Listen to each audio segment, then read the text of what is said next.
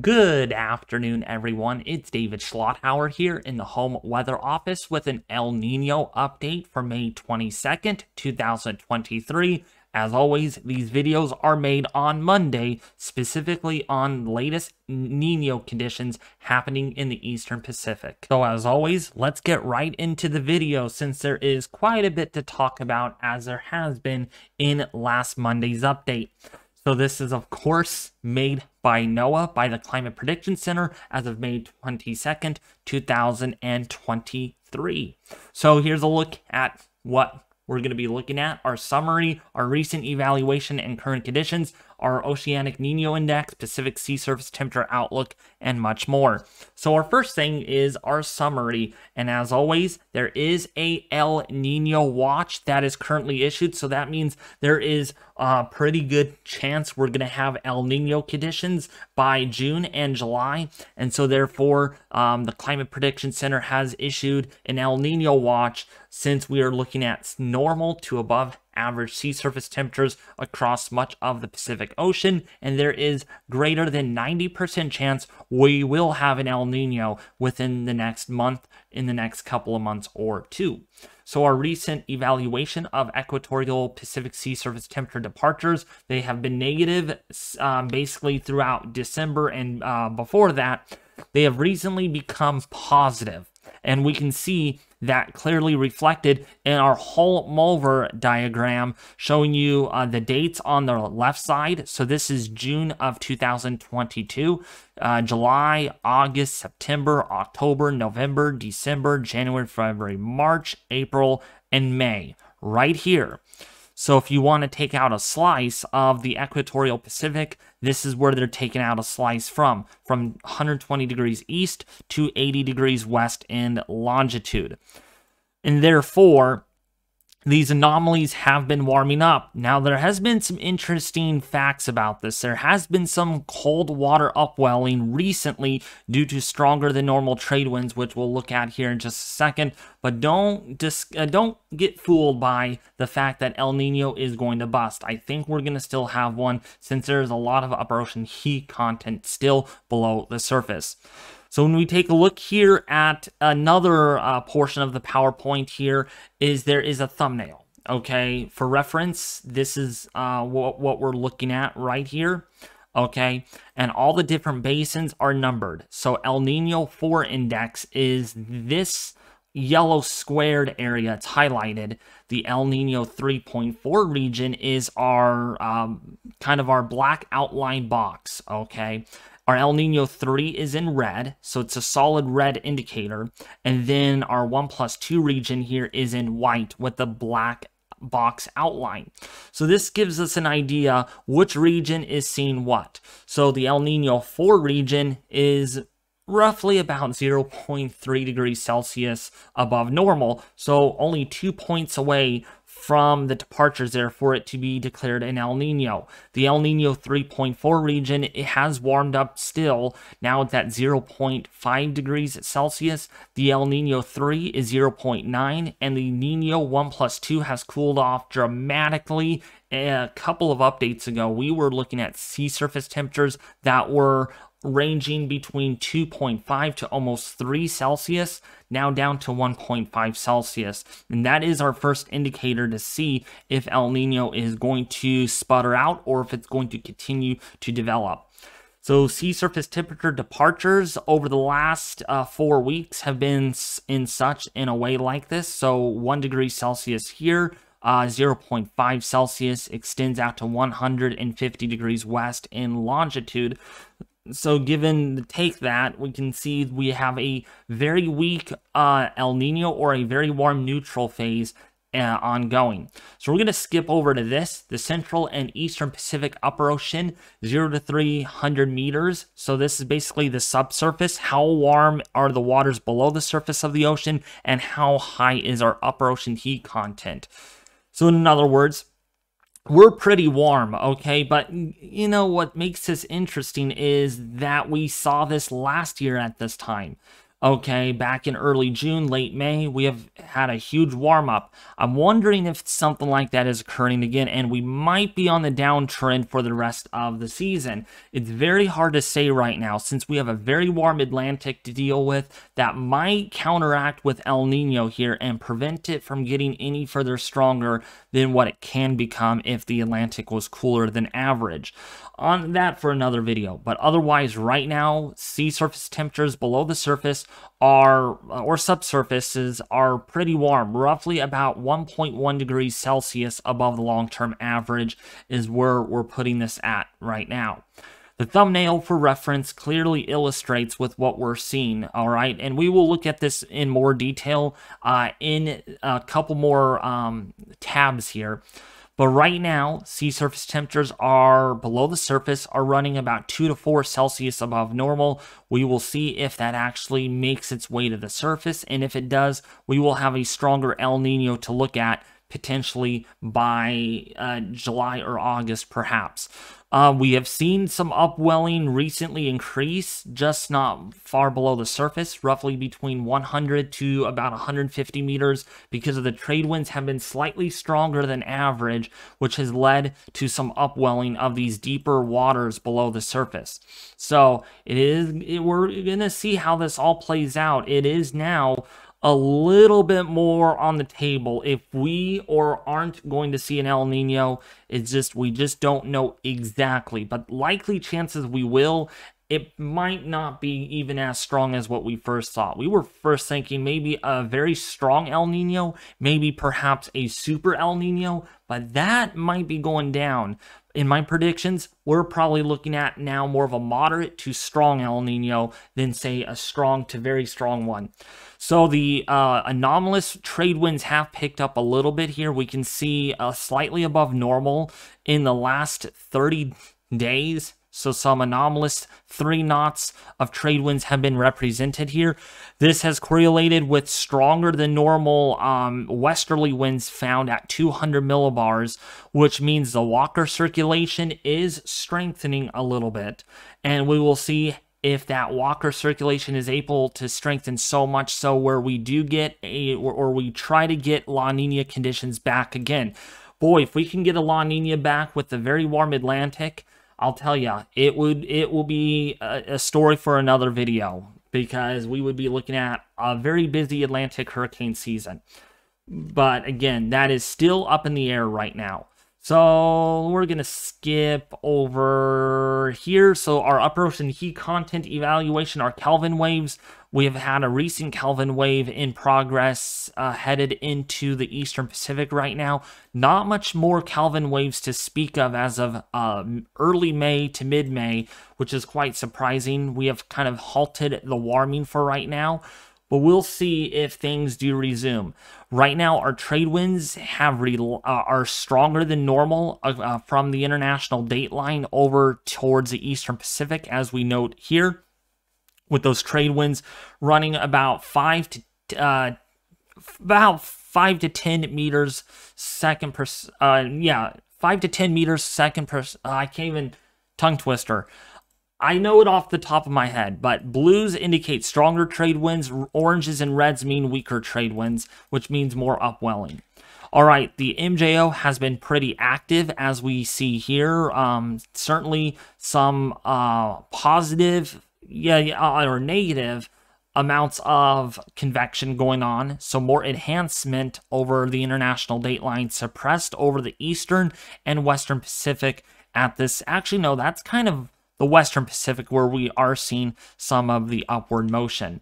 All right, um, when we take a look here at our historical El Nino and La Nina episodes, we're still at negative 0.2. This will update next month, as you can see here. So just, I'm circling that in for reference. So what we will look for is um, these numbers to go into the positive territory. But the way it looks now, I think El Nino is kind of not developing rapidly or as quickly as we thought before. But uh, for a little while there, you can see those anomalies very warm. They have cooled down just a little bit now, anywhere between about 1 to 1.5 Celsius in the Nino 3 region. Not so much in the Nino 3.4 region. We're waiting for that warmer water to slosh westward and develop this El Nino more significantly. But as it stands now, it looks like it has leveled off. It has plateaued and we have not seen any further warming of the eastern or um, or the central equatorial Pacific. The, uh, the very strong cold PDO is still in progress right now with another shot of northerly winds here coming off the west coast. And so there's going to be a lot of upwelling here of sea surface temperatures. And with that being said, a very warm Atlantic right now, which makes me more thinking to believe we're probably going to have a fairly busy season but we'll have to see what um, June and then what July brings, and then we'll know for sure, probably by late July, early August, if we're going to have a really busy peak of our Atlantic hurricane season. So looking at the climate forecasting system version 2 forecast in for the Nino 3.4 region, this is a look at our latest anomaly projection. All right, so uh, in a few videos ago, by like late April, early May, we were to think we might be up in here, 2.5 plus. But recently, these numbers have been trending downward. So it's very interesting. The climate or the seasonal predictability barrier still in full swing, and it is possible that this could even level off and bottom out right over here, barely at 1.5 Celsius. But we are still thinking we're going to have more warming in the eastern equatorial Pacific. But the chances of us hitting this portion up here on the top of the cone or the ensemble guidance remains highly uncertain at this time. More so from this black line further down is probably where we're going to head. So between 1.5 to 2 Celsius in the three month mean average is projected by late November into early December, um, which again would be a moderate to strong El Nino, possibly a very strong one at the very most, but there's only a 30 to 40% chance of that occurring as of this video. So now when we take a look at our subsurface temperature anomalies, again, that's this is basically that same version that we looked at during the PowerPoint, but this is showing you the subsurface temperature anomalies ever since mid-March. So we can see here that the more redder colors, the darker red colors indicate more warmer than normal sea surface temperature anomalies. And we can see how that has all progressed over the last, say, three or four weeks, how um, this warm water over here in the central and western Pacific has not really surfaced yet. So, with those trade winds continuing, it's going to be very hard to see this make its way to the surface. We want those weaker trade winds. Um, trade winds have been stronger over the eastern Pacific, is which is why this anomalous warm water here below the surface has not made its way to the surface. But still in all, we are looking at sea surface temperatures right now hugging between the 26 to 28 degree isotherm uh, index, uh, right around the five or the 50 meter depth in the surface, all the way up to the surface in itself. But what we're looking for is more of this water to slosh westward or eastward, and really it's not doing that as quickly as what we first thought. And that's, again, because of the upwelling, because these trade winds are keeping this warm plume of water towards the west and preventing it from sloshing eastward, which would otherwise help our El Nino quite well. Pretty surprising to see this, though. The Southern Oscillation Index has been acting very differently and I mean, this would really lead to a developing El Nino. And it's pausing. The Nino is kind of plateauing despite our negative phase of the Southern Oscillation Index here very negative here. Uh, our latest contribution here, negative 43. So I'll explain this in just a second with what this means. All right, but right now, in the last 30 days, it's been at negative 8. The last 90 days, it's been at negative 3.52, and it's dropping very quickly. I mean, it's coming down really, really fast, fast enough to where we could have El Nino conditions in the last 90 days to cooperate with the atmosphere probably by early to mid June if this keeps up. So we can see over Tahiti, the pressure has been uh, lower than average, and over Darwin, it has been higher than normal, leading to a daily contribu- uh, contribution of negative 43.11. That's very, very negative. I mean, it's not like negative 9, negative 1 or whatever. It's been very negative over uh, for a while, and we can see um, the daily contributions here um, highlighted in these bars, really going up and down, up and down. And right now it is very negative, and that means our trade winds are weaker than average, but we just saw they are stronger. I'm thinking though, if the trade winds are weaker, more than likely in the Western Pacific, which is why there has been a lot of warming over there recently, and it has not really made its presence known over the Eastern Pacific. That should happen maybe soon. So the pressure differences are measured from Darwin, Australia over to Tahiti, which is over here. So these two locations is where the pressure data comes from for our Southern Oscillation Index, which we see here. So that's basically this. So what you want to see is the pressures over here to be lower, okay, and the pressures over here to be higher. So when you get the greater the difference here, you get weaker trade winds, you get more upwelling of warmer water, or downwelling, we should say, and all that water is able to slosh from the uh, west into the central and eastern Pacific and help to develop that El Nino quite nicely. Now the question is, are we seeing any of that anytime soon? Well, yes and no. The latest European model does illustrate we are seeing uh, a weakening of the trade winds right now. That's in orange here. So weak, uh, very weak trade winds, some westerly wind bursts, but still on the ensemble forecast from the European model does indicate we are going to have some enhancements of trade winds, but there will be times when the trade winds do relax.